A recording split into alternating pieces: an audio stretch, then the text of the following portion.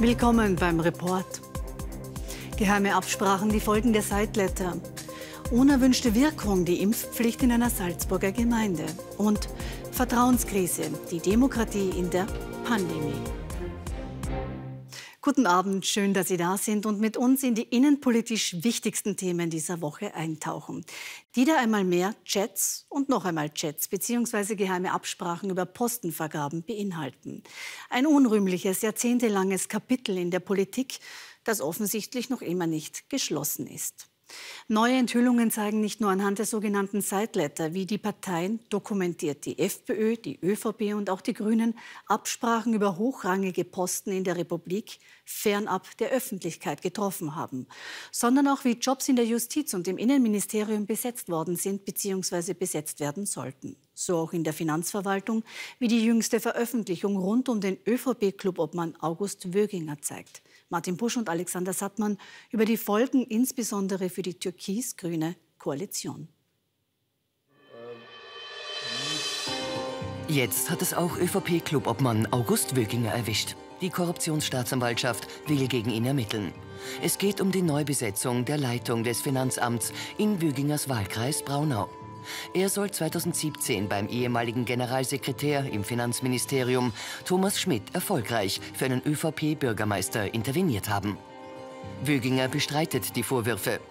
Die Grünen prüfen noch, ob sie einer Auslieferung Wögingers zustimmen und die Staatsanwaltschaft damit weiter ermitteln darf. Walter Geier war Leiter der Korruptionsstaatsanwaltschaft. Er sagt, in kaum einem anderen Land Westeuropas seien Freundalwirtschaft und Postenschacher so weit verbreitet wie in Österreich. Es ist in, im Zusammenhang mit, mit den Chats das Wort steuerbar irgendwann einmal vorgekommen. Und ich glaube, das ist eigentlich der Punkt, um den es geht. Politiker wollen gern Beamte haben, die oder in, in der verstaatlichten Industrie oder in dem Einflussbereich, den sie haben, Leute, die steuerbar sind, die wissen, was sie im Interesse der Politik zu tun haben.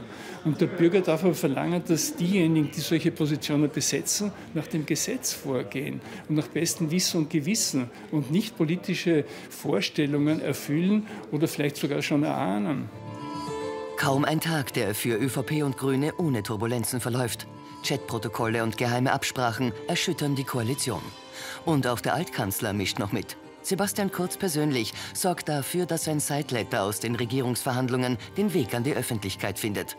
Das Papier soll beweisen, nicht nur frühere Koalitionen, auch die aktuelle unter Beteiligung der Grünen trifft geheime Nebenvereinbarungen. Er hat einen Doppelschlag versucht. Er hat versucht zu sagen, äh, das ist doch ganz normal in Koalitionen, äh, dass man, dass man Sideletters macht. Auch mit den Grünen haben wir das gemacht und gleichzeitig hat er versucht, auch Rache zu nehmen an Werner Kogler, der äh, aus seiner Sicht derjenige ist, der ihn den, das Amt des Bundeskanzlers gekostet hat. Ich glaube trotzdem, es war ein Fehler, ähm, weil es erstens die Vertrauensgrundlage zwischen den jetzt Regierenden auf ÖVP-Seite und auf der Seite der Grünen vermutlich nicht besonders gestärkt hat. Und der zweite Punkt ist, dass ich einfach äh, ich denke, ja, im Vorfeld eines U-Ausschusses, in dem die ÖVP im Zentrum steht, ähm, wird die ÖVP vermutlich auch schwer von den Grünen verlangen können, ja, dass sie ihnen in irgendeiner Form zur Seite stehen. Vorerst ist es vor allem für die Grünen unangenehm. Im geheimen Sideletter akzeptieren sie ein Kopftuchverbot für Lehrerinnen, während sie öffentlich immer dagegen auftreten. Und auch bei Personalabsprachen sind sie nicht zurückhaltend. So soll ein Grüner neuer Vorsitzender im ORF-Stiftungsrat werden. Walter Geier hat für die Grünen den Koalitionspakt in den Bereichen Justiz und Transparenz mitverhandelt. Haben Sie gewusst, dass es so einen Sideletter gibt? Überhaupt nicht. Darüber ist nicht gesprochen worden. Was hätten Sie getan, wenn Sie es gewusst hätten? Ich hätte, ich hätte meine Meinung dazu gesagt äh, und die wäre klar gewesen. Das heißt, Sie hätten das abgelehnt? Ich hätte es abgelehnt, ja. Was sagen Sie inhaltlich zu diesem Papier? Soweit sie mir bekannt sind, äh, die Inhalte, würde ich sagen, ein Teil ist völlig abzulehnen und ein Teil ist unnötig. Kurz nach der Regierungsbildung hat Werner Kogler Nebenabsprachen bestritten. Nun sagt er, man habe die türkise Macht eindämmen müssen klar war, dass die äh, ÖVP, die türkise ÖVP im Stiftungsrat eine große, eine absolute Mehrheit hat. Klar war auch, dass allenthalben die Gefahr einer weiteren äh, Urbanisierung äh, festgestellt wurde. Und uns war wichtig und das Ziel war, unabhängigere, kompetente Menschen in Verantwortung zu bringen. Jetzt sagen die Grünen, ja, wir haben das ja gemacht, damit die ÖVP nicht das ganze Feld für sich hat. Sehen Sie das auch so?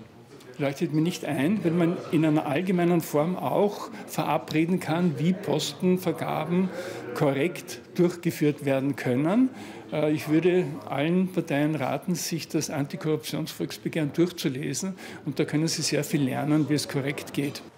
Nun versprechen die Parteien in Zukunft auf geheime Nebenabsprachen zu verzichten. Für Heidi Glück, ehemalige Sprecherin und Beraterin von Ex-ÖVP-Kanzler Wolfgang Schüssel, ist das unrealistisch. Und auch die Aufregung um die Seitleiter kann sie nur bedingt nachvollziehen. Also ich würde sagen, da ist einmal sehr viel Verlogenheit und Heuchelei auch dabei. Ähm, weil sämtliche Parteien, die irgendwo in Regierungsverhandlungen einmal waren, wissen, wie sowas abläuft und dass es eben wichtig ist, äh, dass man gewisse Dinge schon zu Beginn einer Legislaturperiode regelt, egal ob man sie jetzt festschreibt oder ob man sie mündlich festhält oder in welcher Form äh, man sie festgelegt hat. Ähm, es wird auch in Zukunft ähm, gewisse Art von Prozessabsprachen geben müssen. Ähm, ich glaube nur, dass es äh, die Aufregung bei den politischen Akteuren größer ist, als sie in Wahrheit in der Bevölkerung ist. Hier steht der nächste große Stimmungstest für die Volkspartei bevor. Spätestens in einem Jahr muss im ÖVP-Kernland Niederösterreich neu gewählt werden. Nun häufen sich die Spekulationen über eine Vorverlegung der Wahl. Ich glaube, es ist eine Schlüsselwahl. Niederösterreich ist die letzte oder derzeit einzige Bastion mit absoluter Mehrheit. Und gleichzeitig ist auch Johanna Mikl-Leitner die, die, die mächtigste die mächtigste Frau in der ÖVP. Also das ist eine, für sie eine Schlüsselwahl, ist eine Schlüsselwahl für die ÖVP. Da wird, werden dort natürlich diese Szenarien, äh, ob äh, es ihnen günstiger wäre, jetzt zu wählen oder, oder äh, erst zum vorgesehenen Zeitpunkt Jänner bis März 2023. Das wird natürlich die nächsten Wochen äh, auch die ÖVP intern sehr beschäftigen. Meinungsforscher Christoph Haselmeier hat die politische Stimmung in Niederösterreich untersucht. Nach seiner aktuellen Umfrage würde die ÖVP die absolute Mehrheit verlieren. Profitieren würde derzeit vor allem die impfkritische MFG. Ein Wahltermin gleich nach dem Sommer könnte Corona als Thema in den Hintergrund drängen. Die ÖVP Niederösterreich hat definitiv jetzt Kopfschmerzen und ein Strategieproblem. Kurzer Wahlkampf, September, das würde dafür sprechen. Aber entscheidend wird sein, was in den kommenden Wochen in möglichen Korruptionsanschuldigungen gegenüber der ÖVP drinnen ist. Und das entscheidet auch dann den Wahltermin in Niederösterreich. Für die niederösterreichische ÖVP besonders heikel, nun sind auch alte SMS-Nachrichten von Johanna Mikl-Leitner öffentlich. In einem Chat schrieb sie 2016, Rote bleiben Xindel. Dafür hat sich die Landeshauptfrau mittlerweile entschuldigt.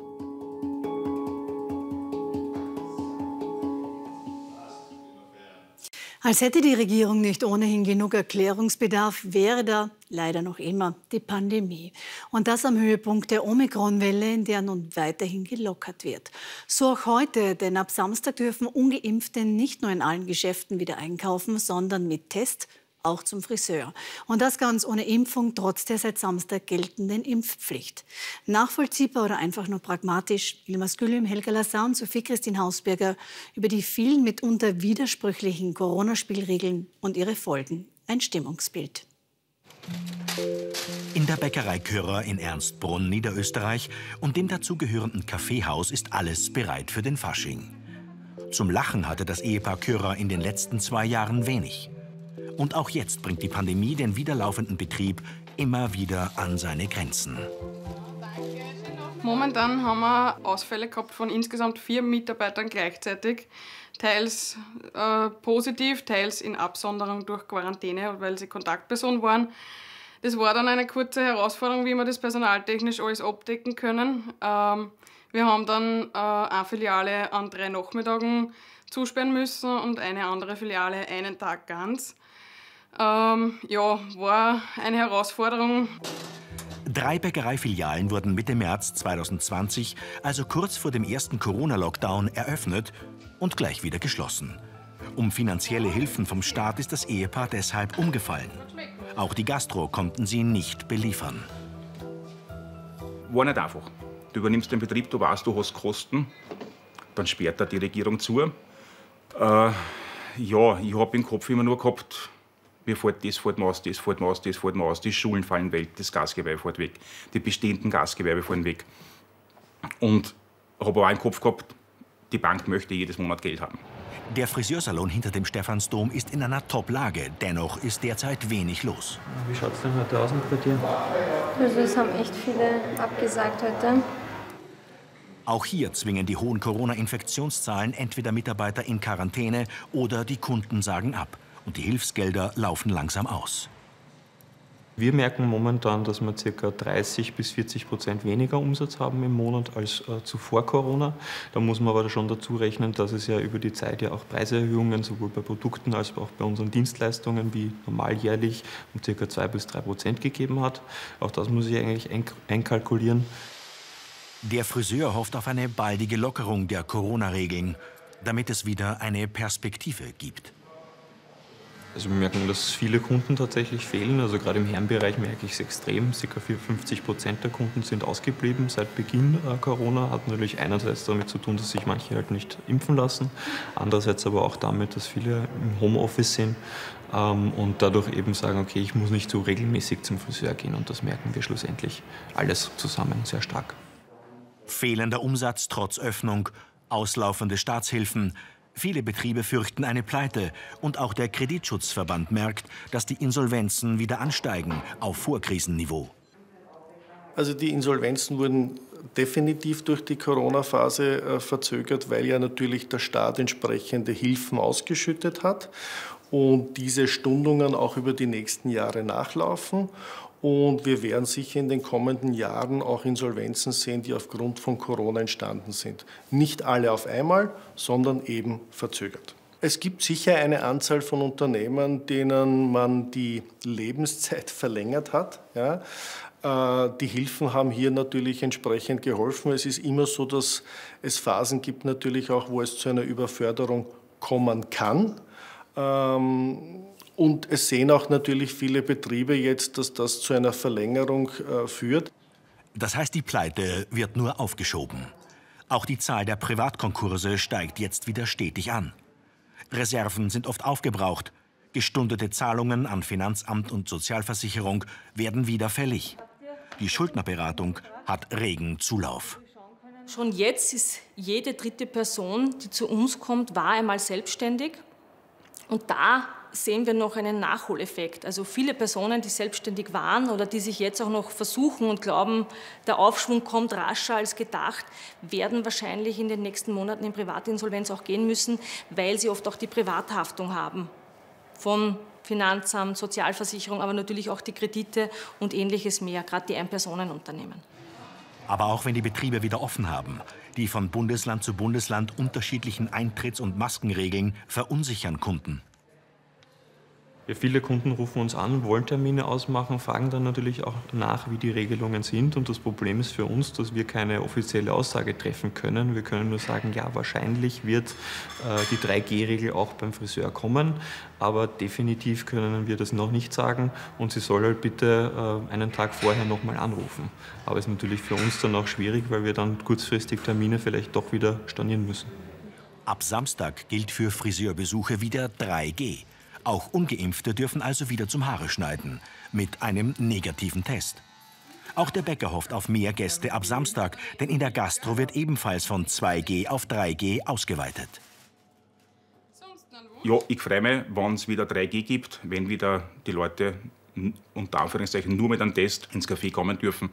Da wird es ja wieder da ein bisschen mehr Leben herinnen sein. Die Aufbruchstimmung ist noch zaghaft. Zu oft schon hat man sich zu früh gefreut. Und jetzt die Impfpflicht. Sie bringt zusätzlich Betriebe unter Druck.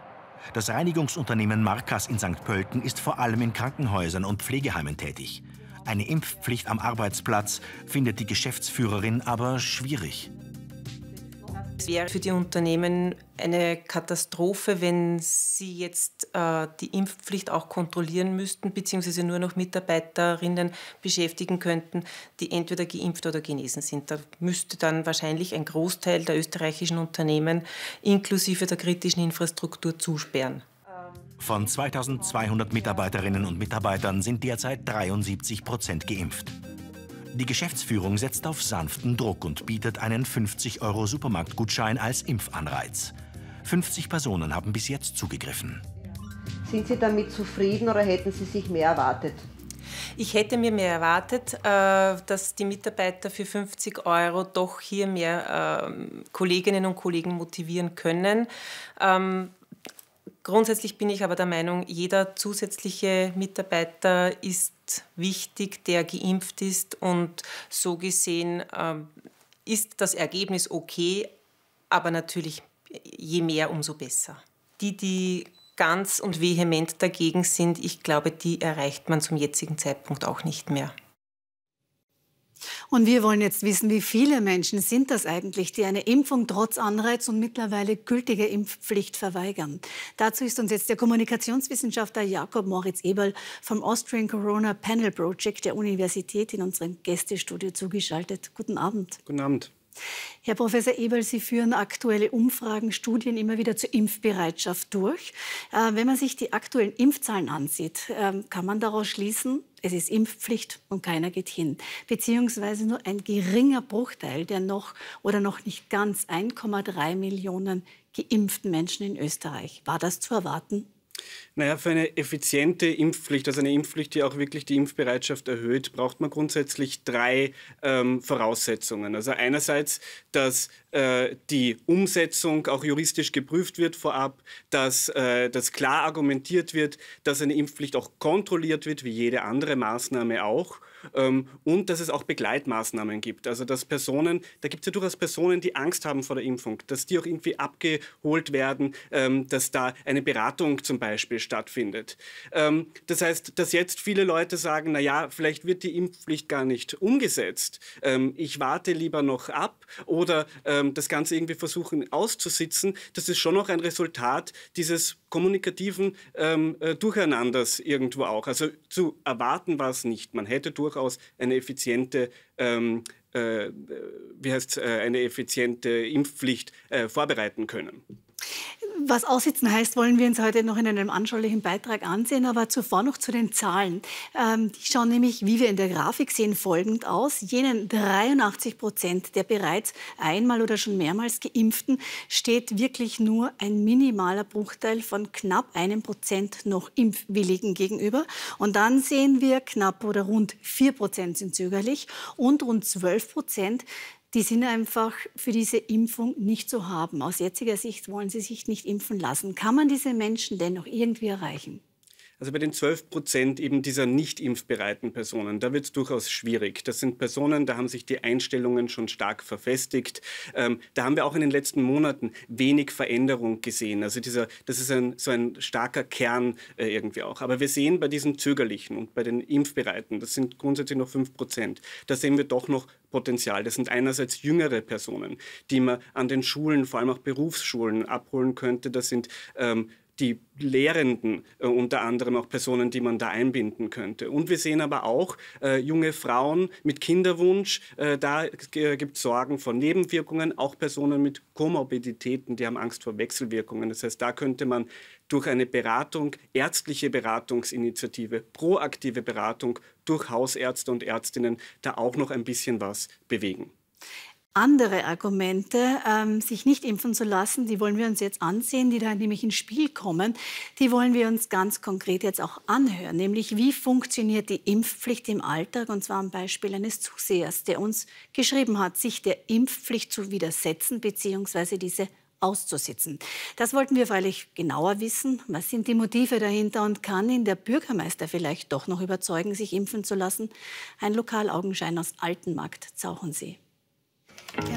Dienstagabend, während Gesundheitsminister Wolfgang Mückstein die Impfpflicht im Reportstudio verteidigt. Die Impfpflicht äh, schafft hier eine Perspektive. Wir brauchen eine Perspektive nach zwei Jahren. Schreibt uns zeitgleich ein Zuseher. Diese sei keine Perspektive. Er und seine Frau werden sich bestimmt nicht impfen lassen, sondern, Zitat, die Sache aussitzen. Beste Grüße, Alois Perwein aussitzen? Das wollen wir genauer wissen und machen uns auf den Weg nach Salzburg, nach Altenmarkt Zauchensee, wo wir Herrn Perwein treffen. 56 Jahre alt, Eigentümer eines mittelständischen Betriebes, den mittlerweile seine beiden Söhne führen. Ich bin mit meiner Frau im Wohnzimmer gesessen und habe da ihre Aussage oder ihre Frage an den Herrn Mückstein gehört und dann haben wir gesagt, ja, das würden wir aussitzen. Aussitzen heißt für uns, dass wir äh, uns nicht impfen lassen wollen, aus verschiedenen gesundheitlichen und persönlichen Gründen. Das heißt, Sie würden dann die Strafe zahlen oder würden Sie das rechtlich anfechten? Wir würden die Strafe zahlen, würden auf jeden Fall einmal einen Einspruch erheben, denn wir sehen uns als genesen. Also Sie, Entschuldigung, Sie hatten Corona. Wir hatten Corona, genau. Wir sehen uns als genesen, aber ein halbes Jahr, ein halbes Jahr drüber. Wir sind rausgefallen aus dieser Grenze. Äh, wir sehen uns als genesen und wir würden äh, die Strafe einmal in Kauf nehmen und einmal Einspruch erheben. Und dann warten wir, was passiert. Aber es gibt ja einen Grundsatz in unserem Land, sich an Gesetze zu halten. Warum wollen Sie das nicht machen? Uns geht es so, dass ich sage, ich will nicht dass jemand anderer über meinen Körper verfügt.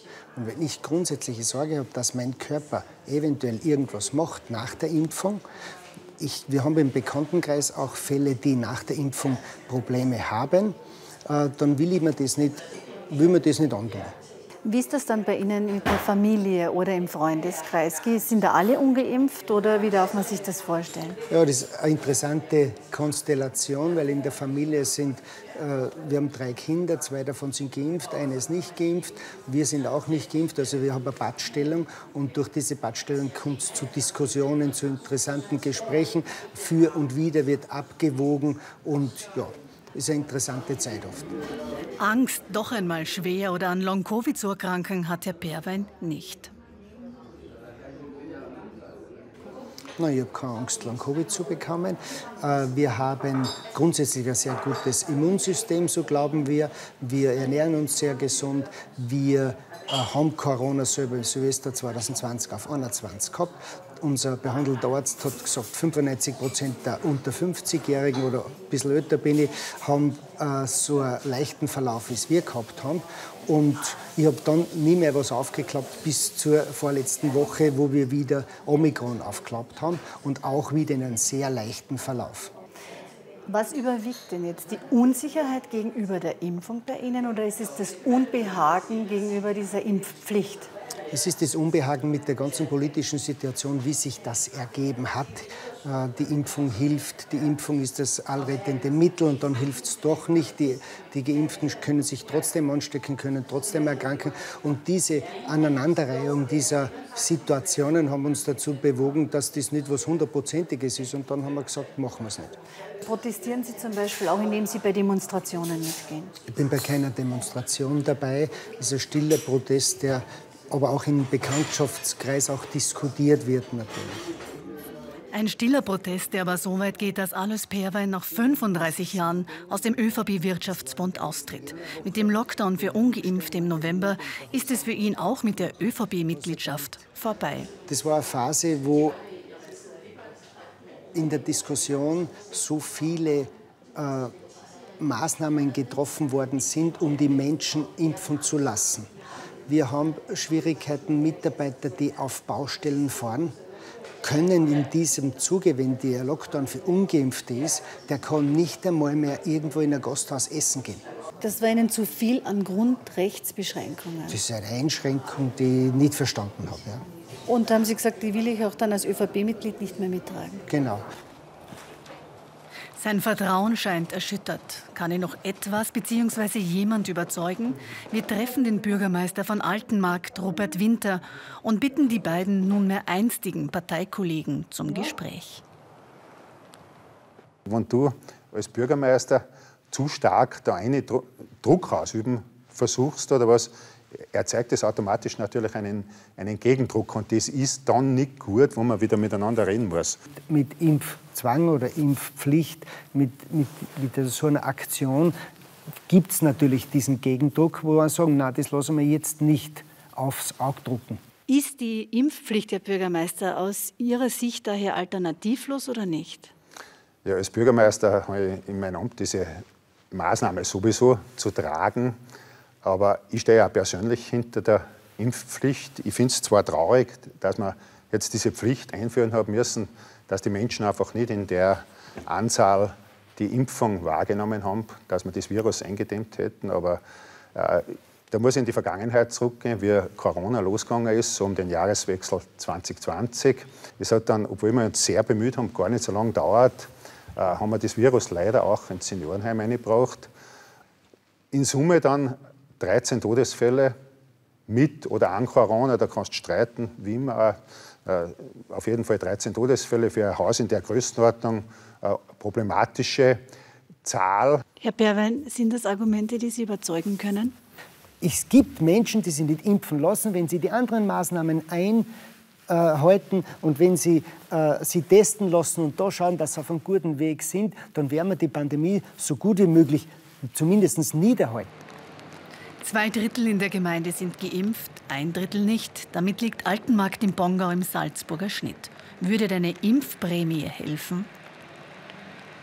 Irgendwie stimmt es mir traurig, muss ich ganz ehrlich sagen. Warum? Dass man, dass man Menschen ein Geld geben muss, das, das, was für die Gemeinschaft irgendwas Positives, dass man endlich, und das glaube ich, wollen wir alle miteinander, wir wollen das Corona, dieses Virus, so bald wie möglich so in seine Schranken weisen, dass wir wieder alle miteinander vernünftig leben können auf, auf allen Ebenen. Und ich kann mir nicht vorstellen, dass das ein Anreiz ist. Für manche vielleicht gewisse kleine Gruppen können sein, dass sie es sogar persönlich brauchen würden, aber nicht für die Gemeinden. Wenn ich jetzt Bedenken habe, was meine Gesundheit betrifft, äh, ob mich da dann ein Sportplatz oder, oder eine Kultureinrichtung oder irgendwas davon überzeugen kann, nein, das ist sehr kritisch. Haben Sie Argumente, ähm, um den Herrn Berwein möglicherweise noch zu überzeugen? Du hast eingangs das angesprochen, du, du wartest auf einen anderen Impfstoff. Nicht? Also dieser Totimpfstoff oder was, was da wahrscheinlich im, im Raum steht. Wäre eine Möglichkeit. Äh, und so, der wird kommen. Und dann wird sich das, das Problem gelöst haben, ich, zwischen uns zwei. Nicht? Oder es Äh, löst sich automatisch, weil, die, weil der Virus sich so abschwächt. Das kann ja auch sein. Wenn, wenn verschiedene Staaten mit dem grünen Pass aufhören, dann könnte das ja genauso ein Thema sein, dass da nicht mehr notwendig ist, dass man jetzt ums, umsonst diskutieren. Könnte auch sein. dieser respektvolle Umgang untereinander, der, den misse ich einfach. Und gerade auf, auf Ebenen dann äh, medial, Fernsehdiskussionen und so weiter, wie man da zum Teil miteinander umgeht, das, das können wir auf der Ortsebene einfach nicht brauchen. Haben wir auch nicht bis dato. Und äh, auf das werden wir schauen, dass das Klima da, zumindest bei uns in Altenmarkt, gut bleibt. Darum braucht es das gute Gespräch. Und das werden wir immer versuchen zu halten.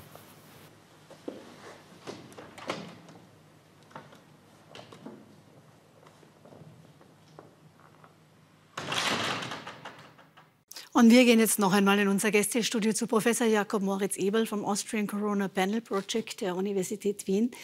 Herr Professor Eberl, wir haben jetzt viele Argumente gehört. Ähm, Der Herr Perwein, der uns geschrieben hat, den wir besucht haben, ist das ein Einzelbeispiel oder mit all seinen Motiven fügt er sich in diese 12-Prozent-Gruppe der Impfunwilligen ein, ähm, die in Ihrer Umfrage abgebildet werden?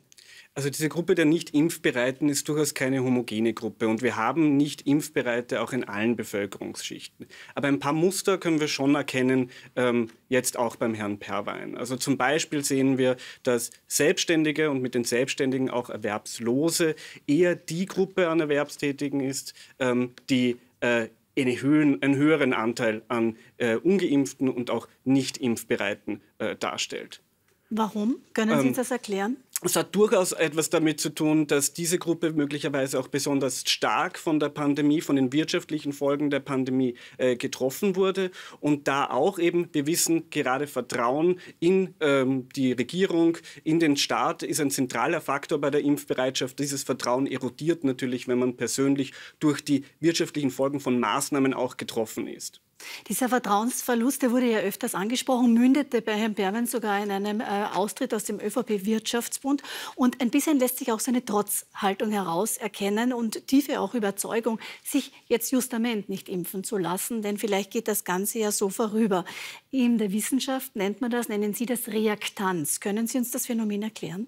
Ja, die Reaktanz ist grundsätzlich etwas, äh, vor dem wir jetzt auch schon immer wieder auch gewarnt haben, vor allem bei so großen ähm, einschneidenden Maßnahmen wie einer Impfpflicht. Impfpflicht. Reaktanz heißt, dass wenn eine Pflicht, ein Verbot oder eine Strafe kommt, die Folge oftmals bei der Zielgruppe jene ist, dass man noch mal eher das Verbotene machen will oder dass man noch mal eher auf die eigenen Freiheiten, wie in dem Fall eben, ähm, pocht ähm, und eben, dass das eher so eine Trotzreaktion darstellt. Ähm, das kann sich auch auf andere Sachen wie andere Maßnahmen, auf das Mittragen anderer Maßnahmen auswirken. Das kann im Extremfall auch zu Gewaltpotenzial führen. Das würde ich jetzt da aber nicht sehen. Gut, nein, das kann ich bestätigen. Im Gespräch beim Herrn Berben ist das nicht der Fall. Aber zur Reaktanz nochmal. Hat die Regierung, hat die Politik, hat der Gesetzgeber, also es haben ja auch die NEOS-Abgeordneten, nicht alle, aber auch die SPÖ äh, zugestimmt, hat man da diesen Gegendruck unterschätzt, beziehungsweise gar nicht mitbedacht, dass man das Gegenteil bewirkt? Also man muss grundsätzlich sagen, es hat in der Gesellschaft ähm, oder es gibt derzeit eine Mehrheit in der Gesellschaft, die für eine Impfpflicht ist.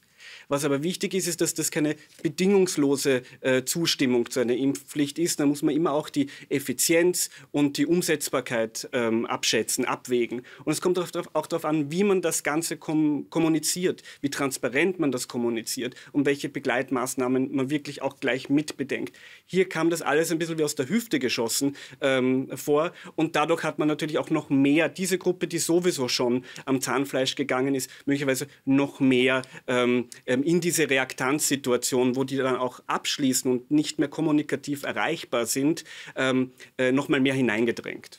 Jetzt ist es ja so, dass es auch aus der Verhaltensökonomie kennen wir, dass andere Möglichkeiten geben würde.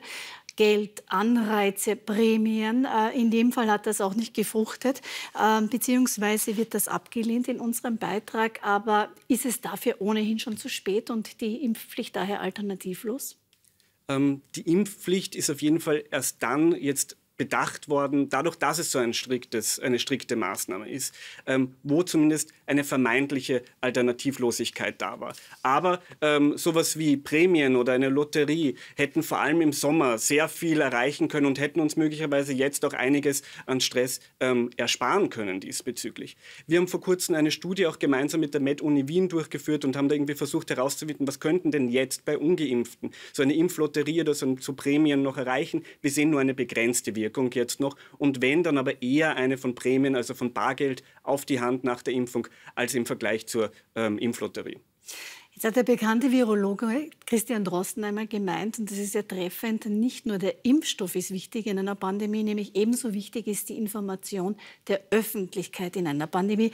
Herr Professor Eberl, Sie sind Kommunikationswissenschaftler und wenn wir uns das kurz in Erinnerung rufen, ähm, von sich widersprechenden Corona-Maßnahmen, von der Impfpflicht als Tabu, die nun eine Impfpflicht, wie der Name schon sagt, ist, bis hin zum Sommer ist die Pandemie zu Ende, dann gab es wieder Lockdowns oder einer nun doch offenbar nicht durchführbaren 1 Milliarden äh, Impflotterie. Also die Aufzählung zeigt es ja schon, da ist vieles in der Kommunikation schiefgegangen. Aber wie sehr ist damit auch das Vertrauen jener beschädigt worden, über die wir ja fast gar nicht sprechen? Wir sprechen über eine Minderheit, aber die Mehrheit der Menschen ist ja geimpft in Österreich. Leidet auch deren Vertrauen?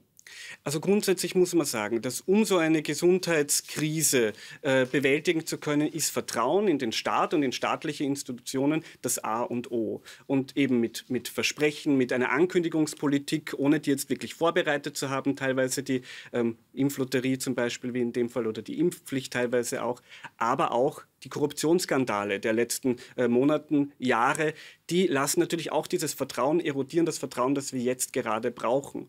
Und auch bei einer Impfpflicht, man kann gegen die derzeitige Impfpflicht dieses Modell sein, ohne eigentlich gegen eine Impfpflicht zu sein, weil diese Impfpflicht zum Beispiel als zahnlos wahrgenommen wird oder eben durchgewurschtelt wurde. Das heißt, ja, es trifft sehr wohl einerseits die nicht Impfbereiten, über die haben wir schon viel geredet, aber dieser Vertrauensverlust findet auch äh, bei den Impfbereiten oder bei, den, bei denen, die das Ganze mitmachen, statt. Damit geben Sie uns schon das Stichwort für den nächsten Beitrag. Herr Professor Eberl, ich sage danke für das Gespräch. Danke Ihnen. Ja, und wir bleiben eben bei diesem Stichwort Vertrauen, denn Vertrauen in die Politik, in die Regierung, in den Staat. Da ist seit Beginn der Pandemie und deren unerwünschten Nebenwirkungen etwas ins Rutschen gekommen. Und dem nicht genug haben die innenpolitischen Turbulenzen der letzten Monate von der Inseratenaffäre bis zu den vielen Chats, die uns heute schon zu Beginn der Sendung beschäftigt haben, ihres dazu beigetragen, dass das Vertrauen in das politische System messbar auf einem Tiefstand salopp gesagt, im Keller angekommen ist. Laura Franz und Julia Ortner über die Folgen und die Lehren aus dieser Vertrauenskrise. Noch vor ein paar Jahren hätte Astrid Esterle nicht gedacht, dass sie einmal bei der Caritas Sozialberatung sitzen würde, weil sie nach dem Tod ihres Mannes und ihrer schweren Erkrankung plötzlich mit ihrer körperlich behinderten Tochter alleine dasteht und ihre Rechnungen nicht mehr bezahlen kann. Dennoch das Interesse an Politik habe sie als politisch aktiver Mensch und SPÖ-Parteimitglied nicht verloren. Es gibt sehr viele Menschen, ich bin sehr vernetzt in, in Gruppen äh, ja, anderer Betroffener. Und äh, die Menschen haben einfach resigniert. Und äh, die Leute trauen sich, da ist, sind wahnsinnige Berührungsängste. Da ist dieses, äh, äh, die hören mir eh nicht zu. Äh, da habe ich eh keine Chance. Und wenn ich dann sage, na komm und probieren wir es trotzdem, dann ist dieses immer wieder die Antwort, nutzt ja eh nichts. Doris Anzengruber leitet die Sozialberatung und erlebt im Alltag selten Klientinnen wie Frau Esterle, sondern vor allem Menschen, die wegen Existenzsorgen Schwierigkeiten haben, am politischen Leben überhaupt teilzunehmen. Demokratie bedeutet ja im Sinne Teilhabe. Das heißt, Teilhabe im gesellschaftlichen Leben, Teilhabe im politischen Leben, das ist für Menschen, die armutsgefährdet sind, kaum möglich. Wer arm ist, kann sich kaum leisten, Freunde zu sich nach Hause einzuladen, kann sich nicht leisten, die Kinder auf Skikurs mitzuschicken. Das heißt, Armut grenzt aus. Wer ausgegrenzt ist, tut sich schwer mit Teilhabe und tut sich auch schwer, Vertrauen zu fassen in die bestehenden Verhältnisse. Pandemie-Pressekonferenzen, Regierungsturbulenzen oder Inseratenaffäre. Das Vertrauen in das politische System im Land ist laut dem aktuellen Sora Demokratiemonitor auf einem Tiefstand. Besonders im unteren Drittel der Einkommen fühlen sich 84 Prozent von der Politik als Menschen zweiter Klasse behandelt. Insgesamt sind sechs von zehn der Befragten davon überzeugt, dass das politische System weniger oder gar nicht gut funktioniert. Laut dem Sora-Forscher ist das Vertrauen in das politische System gerade bei den Menschen im unteren Einkommensdrittel schon seit 2018 am geringsten und nun komme die Vertrauenskrise bei jenen mit höheren Einkommen hinzu. Jetzt durch Corona ist dazu gekommen, dass auch in anderen Teilen der Gesellschaft das Gefühl entsteht, äh, die Politik kann das, was ich jetzt bräuchte, nicht zu liefern. Es ist für mich verwirrend, meine Bedürfnisse werden nicht so gehört. Und deswegen haben wir einen stark sinkenden Anteil von Menschen insgesamt, die jetzt sagen, äh, dass das politische System gut funktioniert. Die langjährige politische Beobachterin sieht einen flächendeckenden Vertrauensverlust in Politik und Institutionen, den sie so noch nicht erlebt habe. Dass sich das in der Mitte ausbreitet und auch in die oberen Schichten geht, ist in meinen Augen geschuldet der, dieses Rumtuns in der, in der Pandemie. Wobei man sagen muss, ja, es gab noch keinen Politiker, der damit Erfahrung hatte. Aber auf der einen Seite wurde den Leuten versprochen, die Sachen, die nicht halten. Dann hat man gesehen, die Verwaltung funktioniert nicht so, wie sie eigentlich äh, sollte. Äh, und dann hat, man, hat sich das Gefühl ausgebreitet, wissen die überhaupt, was sie da tun? Der Kampf gegen die Pandemie offenbare, dass es ein generelles Vertrauensproblem in der Gesellschaft gibt, sagt die Krisenpsychologin. Viele hätten den Eindruck, sie seien am Ende ihrer Möglichkeiten. Das hat auch mit diesem Konzept der Selbstwirksamkeit zu tun, nämlich, dass wir ganz gerne das Gefühl haben, wenn wir was anpacken, dann hat das einen Erfolg und dann bewirkt das auch tatsächlich was. Jetzt haben wir gerade, was die Pandemie betrifft, schon versucht, so vieles anzupacken und so viele Varianten ausprobiert, dieser Situation irgendwie, ja, sie unter Kontrolle zu kriegen und merken aber, uns gelingt es nicht. Das heißt, die Selbstwirksamkeit, die wir ihnen zugestanden hätten, unseren Politikern, Politikerinnen, die hat nicht funktioniert. Und jetzt entsteht da natürlich noch einmal mehr Misstrauen, weil wer soll schaffen, wenn schon nicht die, die wir uns ausgesucht haben? Dennoch ist das demokratische Bewusstsein der Bevölkerung laut der Sora-Studie nicht so leicht zu erschüttern. 88 Prozent der Befragten sagen, dass die Demokratie die beste Staatsform sei. Und laut den Erhebungen von Demox Research für den österreichischen Gemeindebund vertrauen zwei Drittel im Land jedenfalls ihren Bürgermeisterinnen und Bürgermeistern. Wie könnte das politische System insgesamt Vertrauen zurückgewinnen? Der Politikwissenschaftler sagt, in den vergangenen Jahren habe es eher die Tendenz schneller politischer PR-Erfolge gegeben. Nun könnte die Politik längerfristiger denken. Es zeigt sich in unseren Daten, dass die Menschen durchaus bereit sind, auch schwierige Aufgaben der Gesellschaft anzuerkennen, sei es die Pandemie, sei es die Klimakrise, sei es jetzt Arbeitsmarkt und Wohlstandsverteilungen. Das sind alles Dinge, wo die Menschen aber nicht naiv sind und wissen, das sind langfristige Aufgaben. Und dass dort die Politik ähm, langfristige Projekte mit den Bürgerinnen und Bürgerinnen angeht und diese auch beschreibt, die Wege, die sie dort geht und nicht so tun, als wäre das eben ein Disneyland-Besuch. Auch wenn man hier mit der Klientin und mit der Expertin der Sozialberatungsstelle spricht, gibt es Ideen, wie die Politik wieder zu mehr Vertrauen bei den Menschen mit kleinen Einkommen kommen könnte.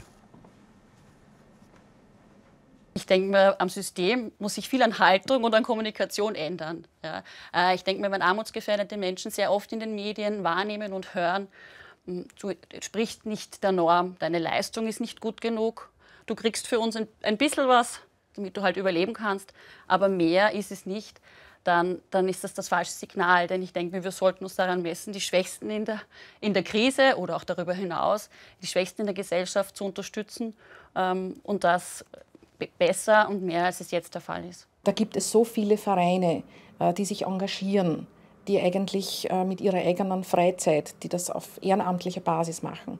Und die müssten viel mehr gehört werden. Da müsste man sich einfach mehr Einblick verschaffen seitens der Politik. Man müsste wieder, mm, um jetzt unter das Volk gehen. Und damit meine ich jetzt nicht das Volk, das jeden Samstag auf der Straße läuft und schreit, wir sind das Volk. Gerade heute in so aufgeheizten und turbulenten Zeiten sollte sich die Politik auf zwei Fragen konzentrieren, um mehr Glaubwürdigkeit bei den Wählerinnen und Wählern zu erreichen. Die Politiker müssen auf allen Ebenen ihr Verhalten ändern. Äh, sie müssen den Leuten ehrlicher gegenübertreten. Das ist das Um und Auf. Sie müssen Gesetze verabschieden, die sie lange versprochen haben, die sie auf die lange Bank geschoben haben. Äh, sie müssen, äh, nehmen wir das Medienführungsgesetz, nehmen wir das Abschaffung des Amtsgeheimnisses, Transparenzgesetz. Da gibt es viele Dinge. Doch gerade in der Pandemie müsse man dem politischen System auch Fehler und Lernprozesse zugestehen. Veränderungspotenzial für die Politik sieht die Psychologin hier. Da kann man ansetzen in der Politik ein bisschen mehr Kontinuität und Transparenz reinzubringen. Und das andere ist, dass ähm, Vertrauen immer auf zwei Eigenschaften beruht. Das eine ist Wärme und das andere ist Kompetenz. Also so ein, eine warme, herzliche Ausstrahlung, so etwas Empathisches, sorgt für Vertrauen und oder Kompetenz. Im besten Fall beides. Wärme und Kompetenz in der Politik. Jedenfalls interessante Eigenschaften, die es im harten politischen Alltagsbetrieb umzusetzen gelte. Und weil uns Transparenz ganz wichtig ist, wie wir hier beim Report arbeiten, wie unsere Beiträge entstehen, warum wir wen interviewen, ein Hinweis auf unseren Report Werkstatt Podcast, wo Sie all das auf allen gängigen Plattformen wie tv.orf.at, iTunes und Spotify nachhören können. Mit dieser Empfehlung verabschieden wir uns für heute. Danke fürs Zusehen. Ich freue mich auf ein Wiedersehen. Bis nächsten Dienstag. Kommen Sie gut durch die Woche.